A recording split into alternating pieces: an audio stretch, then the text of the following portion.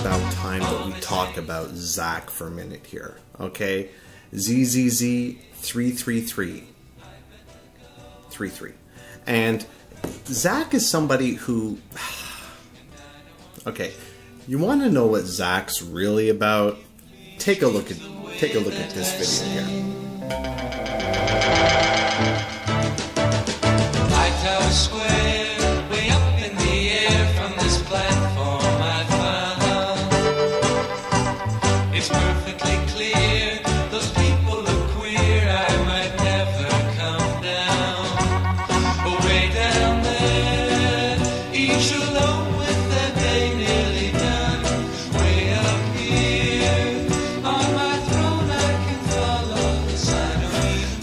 much what Zack is all about, okay? And you and you might sit there and you might say, "Well, so what, man? That doesn't do shit, man. That doesn't have anything to do with nothing." Blah blah blah. But you know what? Zack is Zack is like Zack is nothing new to people in the know. Okay, there's being a far left lib intellectual like Buddahgem, like Brain Police, like Bella the Happy Loser, and then there's Zack. Okay, Zack. Let me tell you my history with Zack. Okay, once Zack was there and he made a video which could get him into legal trouble. Okay, and here's the video here that Zack made that could get him into some legal trouble. So I tried to warn him maybe he should better take the video down. Here's the video. You judge for yourself. The concept behind this video is I have no concept and I have to go somewhere, so I'm going to do it on the way. And it's far away, so I'm going to drive, even though that contributes to global warming. And that is how I'm a slave. Because it is in my self interest to drive. If I don't drive,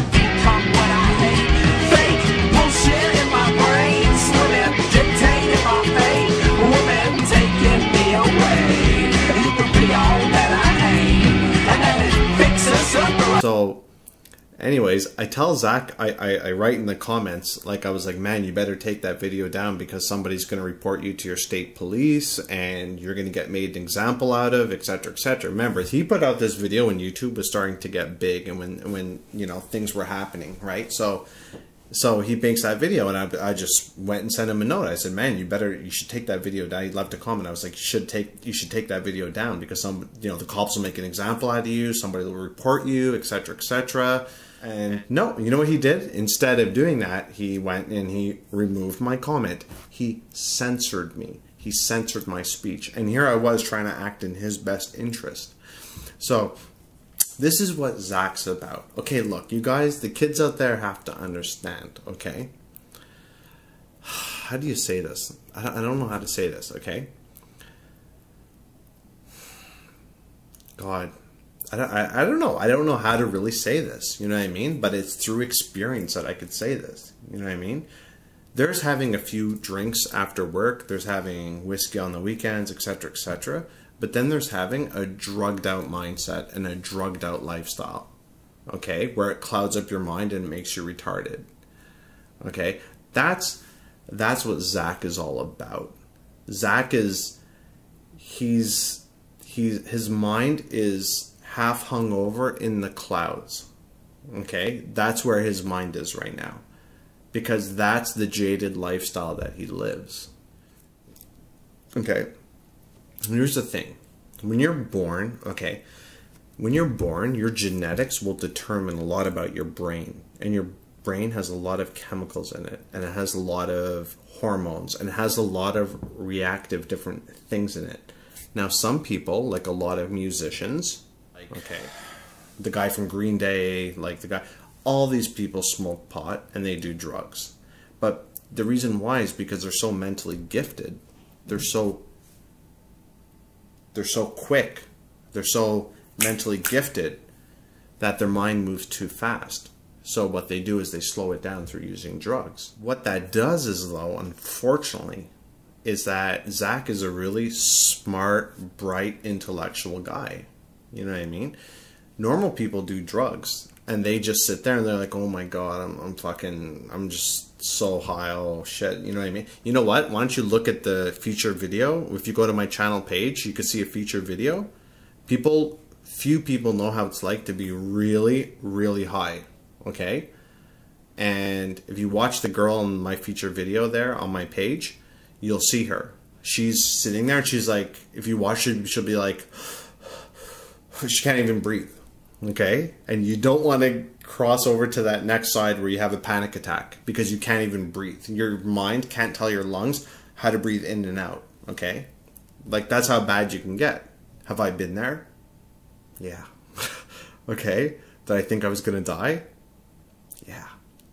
Okay. So it's not a fun place to be. But these little pussies like Zack, you know, will sit there and he'll smoke his weed and stuff like that. And he'll come up with these intellectual idealisms. Now, I don't know for all the kids out there who've done drugs, okay, I don't know about those people, but when you come off an acid trip, when you've taken ecstasy and smoked weed and done pills, you know what I mean? There's a certain, you know, there's a certain there's nothing let's put it this way okay? And only a couple of people are going to know what i'm talking about. There's a certain entertainment okay? There's nothing there's almost nothing in the world more entertaining than sitting with somebody and they don't even have to be like-minded like you. Doing e and smoking weed and drinking alcohol and just getting fucked. Okay, there's and what happens is, is that your main your mind becomes like you'll start on Friday and then Sunday will come. Okay? And you won't even know, you won't have a solid sleep, you won't know where the time went by. You'll stay inside the whole day like a rat. You won't know what you will you'll lose track of time. Okay? And when you do that, you, what you'll do is you'll have these short, like one or two hour naps in between only very few people know what I'm talking about. And you'll do the whole weekend like that, and then you won't know what went on. And all of a sudden, the sun rises, and you hear on the TV it's like Monday morning, and you don't know what happened. You know. Now, there's there's nothing more entertaining than that. Nothing.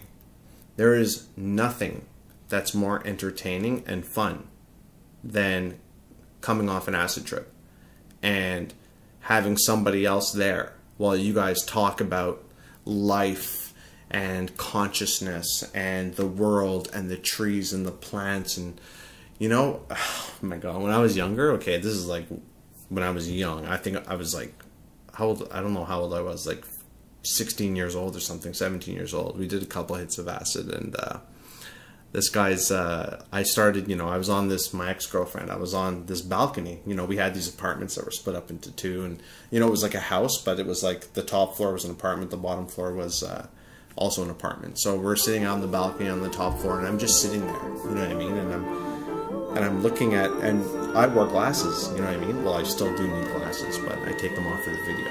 And um, so I wear glasses, and there was we had this bicycle tire because I had you know back then mountain bikes and Trek mountain bikes and stuff like that, right? So we have the we have like the, the tire there, and I look at it, and the tire would start to go oval like that, right before my eyes. I'll never forget, and I spent hours. There was this tree, okay.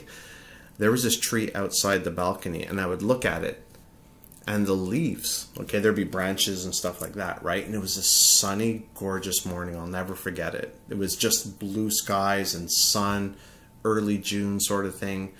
And I, the sun came up and the birds were chirping. And when the birds were chirp it sounded like they were kind of coming from behind you and stuff. And you felt at one with nature. And i looked at the leaves on the trees and the leaves on the trees and i'd look at them and i could start to see the stems of the trees basically like I, you could start to see the the stems, you know, like the branches. Then you could like, it was like sharp, like ding. You could start to see the like what the tree was about.